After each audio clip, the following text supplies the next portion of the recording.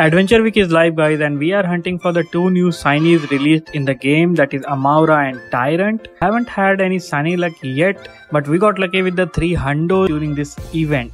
Hundo we got is from Field Research which is a hundo Amaura finally some good luck on our way guys also shiny odds were boosted from the eggs and yeah we did a lot of hatch again luckily we were hundo archen i really wish though if it was a sunday you guys will not believe we couldn't grind outside due to the rain on the last day. We had a stacked field research and guess what? We got a hundo Tyrunt on the last research of the event.